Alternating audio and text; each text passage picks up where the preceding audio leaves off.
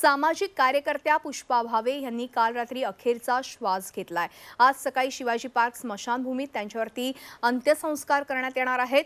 संयुक्त महाराष्ट्र चळवळ गिरणी कामगारांच्या नेत्या म्हणून त्यांनी नेहमीच पुढाकार घेतलाय. अशी त्यांची एक वेगळी ओळख निर्माण त्यांनी केली होती. काल रात्री त्यांचं अखेर निधन झालेलं आहे. त्यांच्या पार्थिवावर आज शिवाजी पार्क ह्या स्मशानभूमीमध्ये अंत्यसंस्कार केले जाणार आहेत. ज्येष्ठ सामाजिक कार्यकर्त्या पुष्पा भावे यांचं विशेष असं योगदान समाजकार्यात राहिलं. गिरणी कामगारांच्या नेत्या म्हणून त्यांची वेगळी अशी ओळख होती.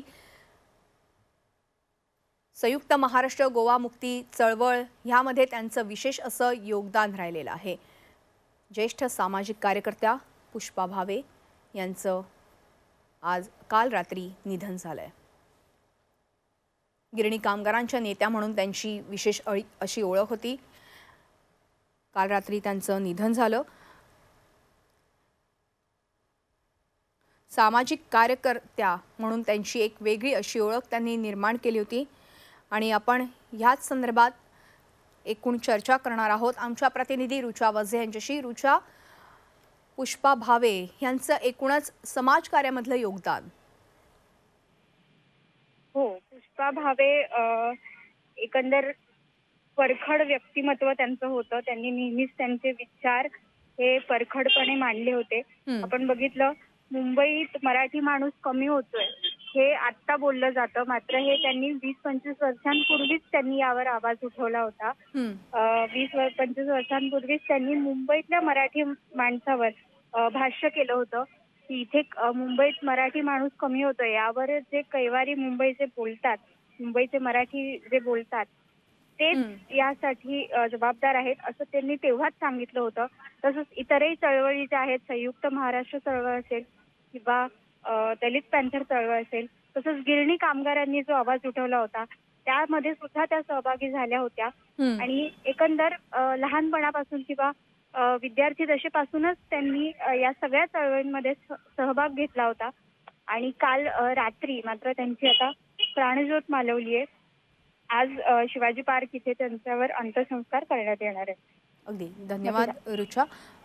ज्येष्ठ सामाजिक कार्यकर्त्या पुष्पा भावे यांनी वयाच्या एक्क्याऐंशीव्या वर्षी अखेरचा श्वास घेतला. आपल्यासोबत आहेत आत्ता प्रकाश बाळ ज्येष्ठ पत्रकार. आपण त्यांच्याशी देखील त्यांच्या आठवणींविषयी जाणून घेऊया. प्रकाशजी आपण पाहतोय की पुष्पा भावे यांचं निधन झालेलं आहे. एकूणच त्यांच्या आठवणींविषयी आणि योगदानाविषयी. भावे यांचं व्यक्तिमत्व खूप विविधांगी होतं. म्हणजे प्राध्यापका प्राध्यापिका म्हणून त्या अतिशय लोकप्रिय होत्या. मराठीच्या रुईया कॉलेजमधल्या प्राध्यापिका म्हणून त्या ओळखल्या जात असत. पण प्राध्यापिका असताना सुद्धा आणीबाणीच्या काळात आणीबाणी जेव्हा जाहीर झाली तेव्हा त्यांनी सक्रियरित्या आणीबाणीच्या विरोधातल्या चळवळीत सक्रियरित्या भाग घेतलेला होता. आणि विविध प्रकारचं लिटरेचर म्हणजे त्यावेळेचं जे भूमिगत असलेल्या लोकांना मदत करणं हे करणं वगैरे त्यांनी केलेलं होतं. नंतरच्या काळात माझ्या दृष्टीने त्यांचं सर्वात मोठं कॉन्ट्रीब्युशन आहे ते म्हणजे रमेश किणी प्रकरण जे युतीच्या काळात घडलं पंच्याण्णव शहाण्णव त्या रमेश किणी प्रकरणात किणी यांच्या पत्नींच्या पाठी पाठ- पाठराखण त्यांनी ज्या पद्धतीने केली. अगदी हायकोर्टापर्यंत खटला लढवून आणि हे करून हे त्यांचं सर्वात माझ्या दृष्टीने सर्वात मोठं योगदान होतं. अर्थात त्या नाट्य समीक्षक म्हणून खूप प्रसिद्ध होत्या. म्हणजे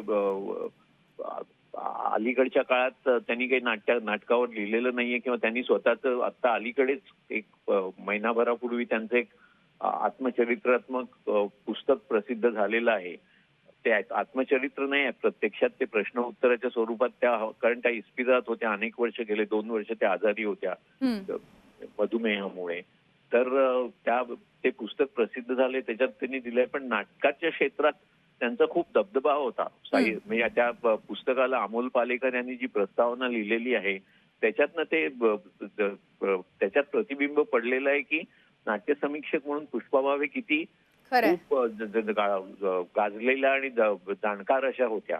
आणि त्याचबरोबर सामाजिक कार्यात स्त्रियांच्या प्रश्नात वगैरे. त्यांचं खूप योगदान होतं. संशोधनाच्या म्हणजे क्षेत्रात त्यांचं योगदान होतं. भाषांतराच्या ह्याच्यात योगदान होतं.